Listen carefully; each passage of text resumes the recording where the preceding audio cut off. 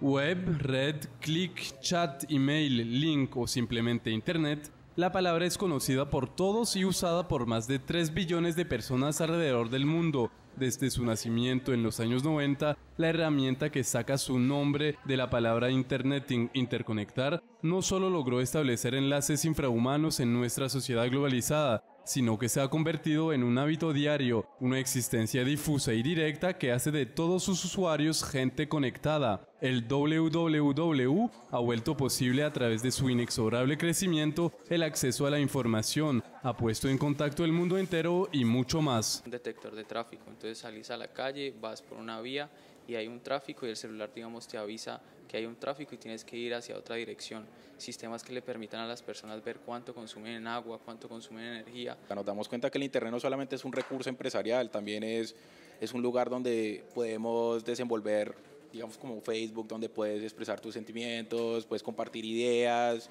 Para eso tenés pues cantidad de redes sociales que cada una tiene, digamos, un aspecto importante, digamos, donde vos te puedes desahogar de cierta forma. Mejora la forma como yo me expreso con el mundo, eh, o sea, para mal se podría decir, también para bien, ya no hay un anonimato, la gente puede saber fácilmente dónde estoy, qué me está pasando, pues eh, ya también es pensar personal. El NET también se ha transformado en una herramienta no más anexa, sino primordial para estimular la economía a nivel mundial y regional a tal punto que Internet se ha vuelto una empresa como tal, un supermercado global a la mano de cualquier persona que tenga un dispositivo con acceso a la tela.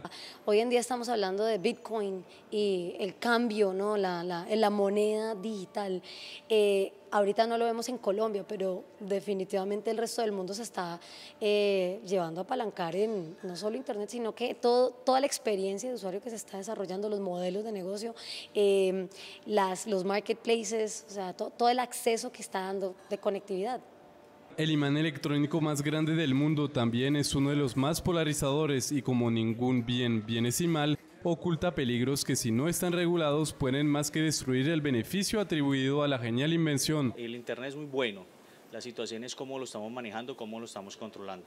Pues a la comunidad en general lo importante es que cuidemos nuestros hijos qué páginas están visitando, eh, qué tanto tiempo permanecen los muchachos con el internet, en las tablets, los celulares, que lo primero que nosotros estamos haciendo es regalándole a, nuestros hijos es la tecnología. Entonces es controlarle el tiempo que permanecen y eh, con qué contactos está manejando en las diferentes redes sociales. En este Día Mundial de la Web, punto común en cual se encuentran sin saberlo más de la mitad de los habitantes del planeta, suele recordar que aunque nuestro futuro sea al parecer intrínsecamente ligado a la existencia del Internet, la interacción humana directa contendrá siempre más que datos y que archivos, porque no es virtual, es real.